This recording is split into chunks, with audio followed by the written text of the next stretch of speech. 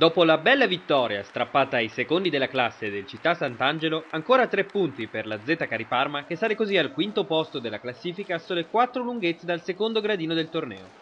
La squadra giallo-blu, presentatasi al gran completo davanti ai propri tifosi, è scesa in campo con la determinazione di fare bottino pieno per confermare il buon momento che sta attraversando e non ha lasciato scampo ai pur volenterosi marchigiani. Inizio partita all'insegna dell'equilibrio, con i cingolani che si portano due volte in vantaggio, 1-2 e poi 3-4, prima che un Pieracci in grande spolvero gonfi cinque volte consecutive la rete avversaria, portando i Ducali sul 6-4.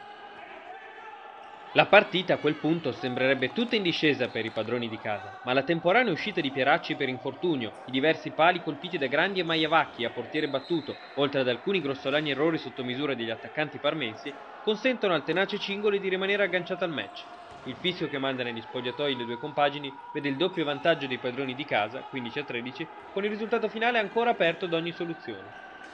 L'inizio della seconda frazione di gioco è nettamente a favore della Z Cariparma, che trova con facilità la via del gol con i tiri da fuori di Grandi e le incursioni di Pieracci e Belli che nemmeno le numerose variazioni difensive tentate dall'allenatore Nocelli riescono a limitare.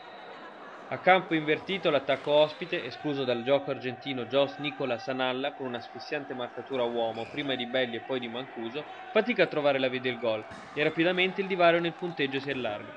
Al decimo del secondo tempo la partita è virtualmente chiusa, con i giallo-blu a più 7, 25-17, e assoluti padroni del campo. Nell'ultima parte del match, Mr. Fanti lascia ampio spazio ai giovani della panchina, che ripagano la fiducia conducendo agevolmente in porto l'incontro sul punteggio di 31 a 27. Il prossimo turno la Z Cariparma osserverà il proprio turno di riposo che, visto l'ottimo stato di forma della compagine giallo-blu, arriva in un momento quanto mai inopportuno, L'allenatore Francesco Fanti dovrà pertanto tenere alta la tensione della squadra per non far perdere l'eccellente condizione fisica e tecnica raggiunta. Gli altri incontri della giornata hanno visto lo Spallanzani Casalgrande battere in trasferta la Quagna Farmigea 33 a 26, il Rapid Nonantola vincitore a sorpresa sul Sassari con un rotondo 41 a 33 e il Monte Prandone imporsi sul Pescara per 32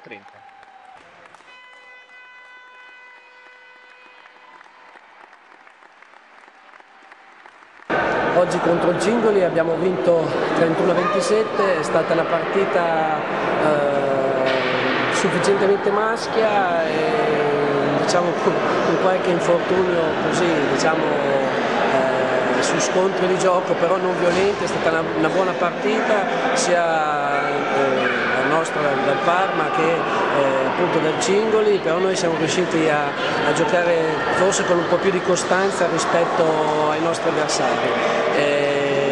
devo dire che sono riuscito finalmente a far giocare tutti i ragazzi che ho convocato, soprattutto i giovani, così in modo da, far, da, da fare esperienza, che riescano a fare esperienza eh, anche in queste partite. E siamo particolarmente contenti perché ci eravamo prefissi un, un obiettivo all'inizio, dopo la sosta eh, natalizia era quello di avere nelle prime quattro partite almeno due vittorie. Sabato scorso a Città Sant'Angelo siamo riusciti per una rete, oggi di quattro, però sono convinto che eh, il punteggio poteva essere eh, molto, con uno scarto molto più elevato in nostro favore. Eh, va benissimo così, siamo contenti. oggi ho visto in forma tutti e due i portieri, vice capitano Faiulli, ma anche tutti gli altri quando sono, andati a, eh, sono saliti in campo sono riusciti a dare meglio